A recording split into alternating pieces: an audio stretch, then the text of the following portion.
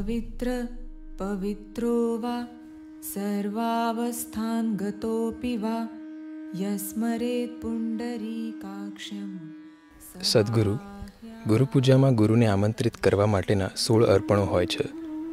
હું વિચારતો હતો કે કેમ તે સોળ છે? શું તમે તેના વિશે થોડું કહી શકો છો? સોળ અર્પણો કેમ?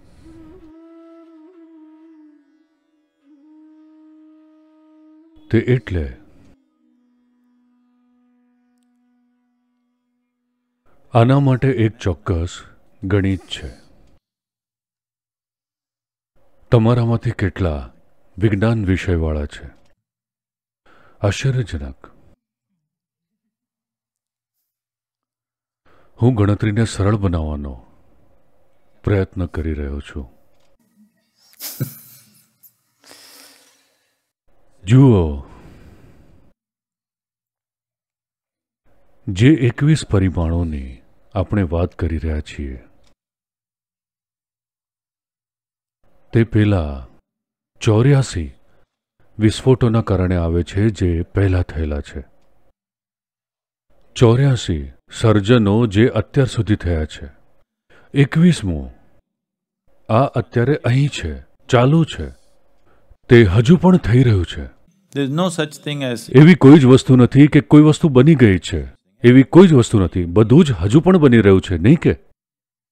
શું સર્જનની પ્રક્રિયા ચાલુ છે બધે જ તમને દેખાય છે? તે સક્રિય રીતે ચાલુ છે. એવી કોઈ જ વસ્તુ નથી કે સર્જન થઈ ગયું. સર્જન થાય છે. થઈ રહ્યું છે હજુ પણ. સતત થયા કરે છે. તો આ સર્જન જે થઈ રહ્યું છે જે અત્યારે થઈ રહેલી વસ્તુ છે. આ એક છે. તો જે બાકીના છે તે વીસ છે. એકવીસ નહીં. વીસ. તો, જ્યારે આપણે સોળ અર્પણની વાત કરીએ છીએ, આપણે તે વીસની વાત કરી રહ્યા છીએ. અને પેલા ચાર વાર એટલે આપણે પેલા ચાર કાઢી રહ્યા છીએ. કેમ કે પહેલા ચાર એ લગભગ આના જેટલા જ વાસ્તવિક છે. આપણે તે નથી કરતા. કેમ કે તે અર્પણ કરવા માટે અલગ પ્રકારની ગુરુપૂજા હોય છે, જ્યાં તમે પોતાની જાતને અર્પણ કરો છો. યોગિક સિસ્ટમમાં તમે તે નથી કરતા, તાંત્રિક સિસ્ટમમાં તમે જાતને અર્પણ કરો છો. તાંત્રિકો આ રીતની વસ્તુ કરે છે કે તેઓ પોતાનું માથું વાઢી નાખે છે.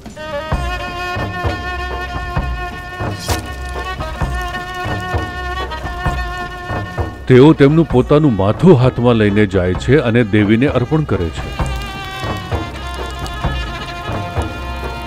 ખરેખર એવા લોકો છે જે આવું કરી શકે છે. માથા વગર તેઓ જાય છે અને અર્પણ કરે છે.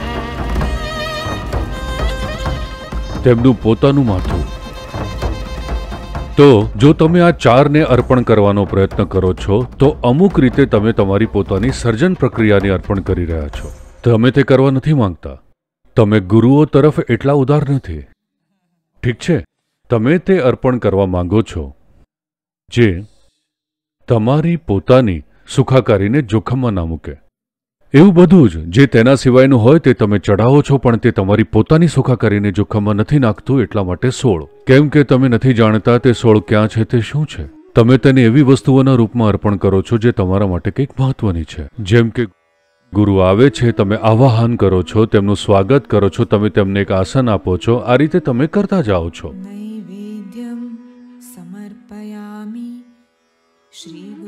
સોળ અર્પણો જે તમે કરો છો તે સત્કાર કરવાની સોળ રીતો છે.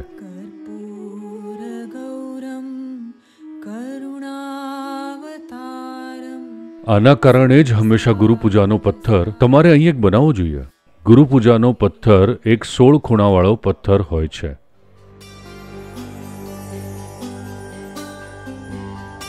જો તમે એક ગુરુપૂજાનો પથ્થર સ્થાપિત કરો અને તેની આસપાસ એક વિધિ સ્થાપિત કરો, આ ઓછામાં ઓછી વિધિ છે જે આપણે અહીં કરીએ છીએ. આનાથી આગળ આપણે નથી જતા જેમ મેં કહ્યું. કર્મકાંડ એક સમાવેશી પ્રક્રિયા છે.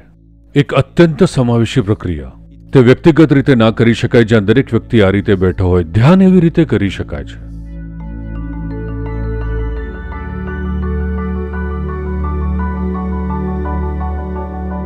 તમે અહીં બેસી શકો, એકદમ બેફિકર થઈને કે તમારી બાજુમાં કોણ બેઠું છે અને ધ્યાન કરી શકો છો.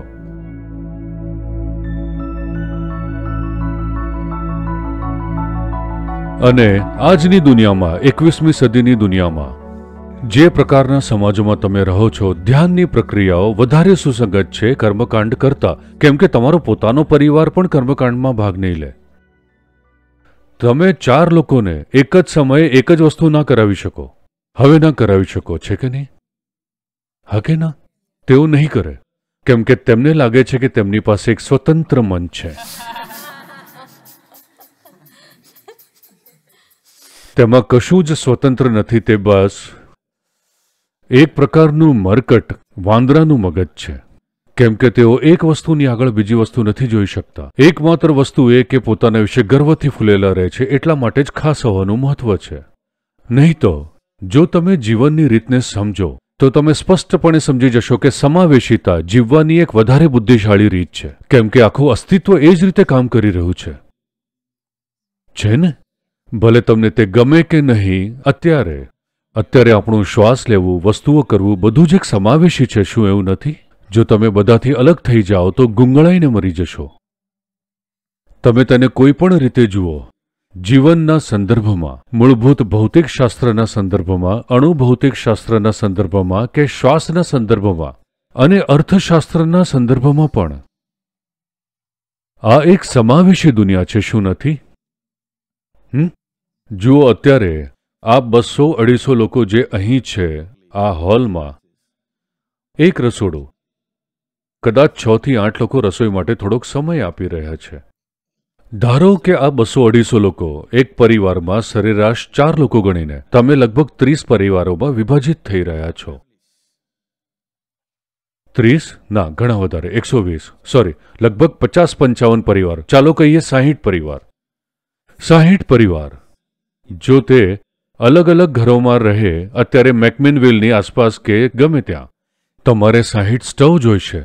વાસણોના સાહીઠ સેટ, સાહીઠ રસોડા સાહીઠ ગેસ સિલિન્ડર, બધું જ સાહીઠ જોઈશે. આર્થિક રીતે આ કરવા જેવી કોઈ સમજદાર વસ્તુ નથી, બરાબર ને? તમારે આધ્યાત્મિક માર્ગ પર હોવાની જરૂર નથી, લોકો ભેગા થઈને. વ્યવસ્થા કરી શકે છે, હું આમાં સારો છું, તમે તેમાં સારા છો, ચાલો આ કરીએ. અને જીવન બહુ સરળ બની જશે, બધાએ તેમના રસોડામાં અને બહાર મજૂરી કરવાની અને હેરાન થવાની જરૂર નથી. તમે ત્યાં જાઓ, એકદમ તમારા બરાબર સમયે. ભોજન તૈયાર હોય છે. શું આ અદ્ભુત વસ્તુ નહીં હોય? જો તમારા જીવનમાં રોજ આવું હોત, તો કદાચ આપણે ગંજી કરતા કંઈક વધારે કરી શકીએ? પણ ના, કેમ કે આપણે ખાસ છીએ, આપણે એવું ના કરી શકીએ. આ કરવા જેવી સૌથી સમજદાર વસ્તુ હશે, પણ આપણે તે નહીં કરીએ, કારણ કે આપણે ખાસ થવા માંગીએ છીએ. ખાસ થવાનો અર્થ છે, મૃત્યુના તરફ જવું.